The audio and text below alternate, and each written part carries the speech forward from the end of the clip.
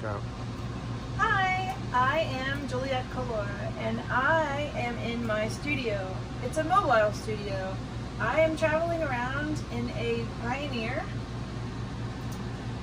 It is a 26 foot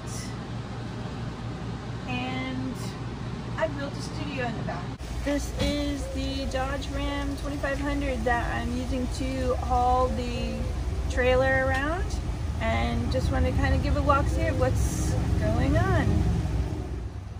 So basically I got a 26 foot toy hauler trailer so that I can be pretty much on the road full time working on machines traveling around.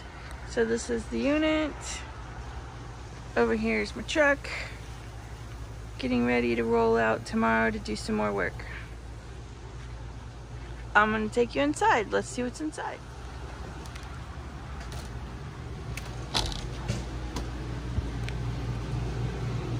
So typical kind of stuff with a camper. It's got a kitchen in it, so I have everything I need when I'm on the road. And over here is the machine. It's actually plugged in, turned on.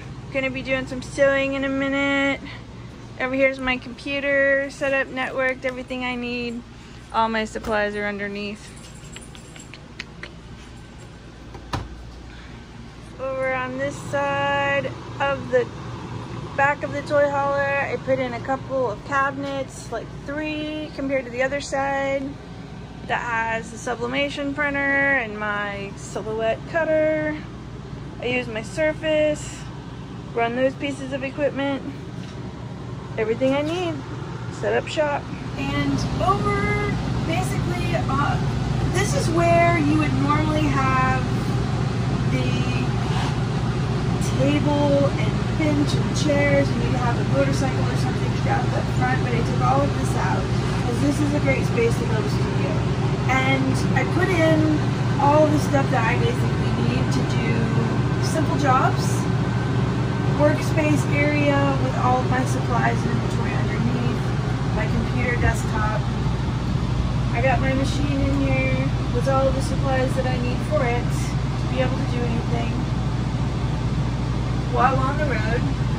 Um, on this side I've got more sublimation and vinyl products and inventory and supplies for doing all the vinyl and sublimation. Trying to combine it all together into one and travel around on the road at the same time. Welcome to my studio.